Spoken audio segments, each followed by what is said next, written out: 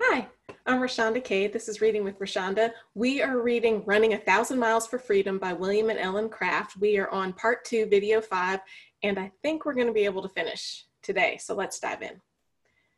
It was not until we stepped upon the shore at Liverpool that we were free from every slavish fear. We raised our thankful hearts to heaven and could have knelt down like the Neapolitan exiles and kissed the soil, for we felt that from slavery. Heaven sure had kept this spot of earth uncursed to show how all things were created first. In a few days after we landed, the Reverend Francis Bishop and his lady came and invited us to their to be their guests, to whose unlimited kindness and careful watch my wife owes in a great degree her restoration to health. We enclosed our letter from the Reverend Mr. May to Mr. Estlin, who at once wrote to invite us to his house at Bristol, on arriving there, both Mr. and Mrs. Estlin received us as cordially as did our first good Quaker friends in Pennsylvania. It grieves me much to have to mention that he is no more. Everyone who knew him can truthfully say, Peace to the memory of a man of worth, a man of letters, and of manners too, of manners sweet as virtue always wears when gay good nature dresses her and smiles. It was principally through the extreme kindness of Mr. Estlin, the Right Honorable Lady Noel Bryan, Byron, Miss Harriet Martineau, Mrs. Reed, Miss Sturch, and a few other good friends that my wife and myself were able to spend a short time at a school in this country to acquire a little of that education which we were so shamefully deprived of while in the house of bondage. The school is under the supervision of the Mrs. Lushington, DCL, during our stay at the school, we received the greatest attention from everyone, and I am particularly indebted to Thomas Wilson Esquire of Branmore House, Chiswick, who was then the master, for the deep interest he took in trying to get me on in my studies. We shall ever fondly and gratefully cherish the memory of our endeared and departed friend, Mr. Estlin. We, as well as the anti-slavery cause, lost a good friend in him, However, if departed spirits in heaven are conscious of the wickedness of this world and are allowed to speak, he will never fail to plead in the presence of the angelic host and before the great and just judge for downtrodden and outraged humanity. Therefore, I cannot think thee wholly gone. The better part of thee is with us still. Thy soul its hampering clay aside hath thrown, and only freer wrestles with the ill. Thou livest in the life of all good things. What words thou sparkst for freedom shall not die. Thou sleepest not, for now thy love hath wings to soar where hence thy hope could hardly fly. Oh, wow, that's beautiful. Thou livest in the life of all good things. So you're in heaven where everything is good. What words thou spakest for freedom shall not die. So everything he spoke about freedom isn't going to die while he's in heaven. Thou sleepest not, for thy love hath wings to soar where hence thy hope could hardly fly. So it says he's not asleep. Um, it's saying he's not really dead because the love he showed to everyone now is soaring in heaven where um, where before he couldn't even have hope. Wow, that was beautiful. And often from that other world, on this some gleams from great souls gone before may shine, to shed on struggling hearts a clearer bliss, and clothe the right with luster more divine. Farewell, good man, good angel now.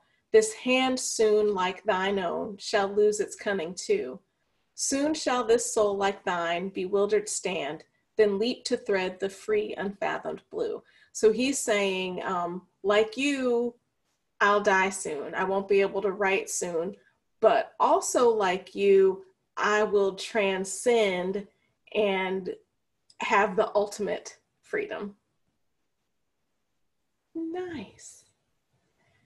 Um, that was apparently by James Russell Lowell. So it was a poem that he inserted in here. Um, that was by James Russell Lowell.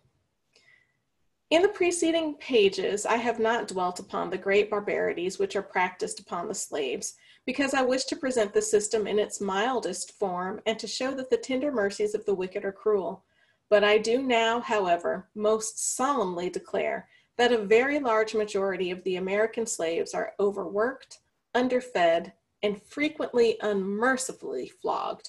I have often seen slaves tortured in every conceivable manner I have seen him hunted down and torn by bloodhounds.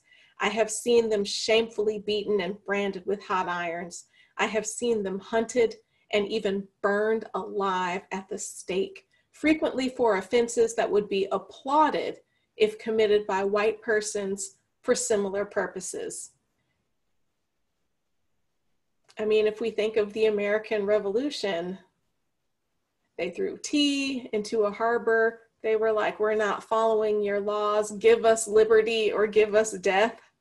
And we applaud all of that. But had they been slaves, they would have been branded with hot irons, burned at the stake. I'll keep reading. In short, it is well known in England, if not all over the world, that the Americans as a people are notoriously mean and cruel towards all colored persons, whether they are bond or free. O tyrant, thou who sleepest on a volcano, from whose pent up wrath already some red flashes bursting up, beware. And that's the end. That isn't, sorry, my Kindle app is doing weird things. Okay, so let's look at how William and Ellen Craft ended this book. O tyrant, thou who sleepest on a volcano, from whose pent up wrath already some red flashes bursting up, beware. So that vision of a tyrant sleeping on a volcano full of pent up wrath and then saying, beware. Oh, that's powerful. So we could look at that a few ways. The tyrant could be emboldened by the force of the volcano it's sleeping on, except the very last word of the whole piece is beware. So that tyrant is sleeping on top of a volcano, a volcano of the downtrodden that will eventually erupt and when it erupts, that tyrant needs to beware. Oh, tyrant who sleeps on top of a volcano, and it said it was already gurgling and bubbling. That volcano is going to blow, and the downtrodden are going to whoosh out that tyrant. The US needed to hear that in the 1850s. The US needs to hear that today. Oh, tyrant who's sleeping on top of a volcano. Beware.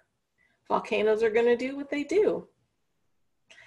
Eventually, people who are downtrodden are going to have had enough. They're going to get people rallying on their side and they're gonna blow. Oh, tyrant, beware. Wow, that is such a powerful way to end their story. So that was Running a Thousand Miles for Freedom by William and Ellen Craft. I'm honestly not sure what we're going to do next, but it'll be something. And I guess that's it for now. This is Reading with Roshaunda. I'm Roshaunda Cade.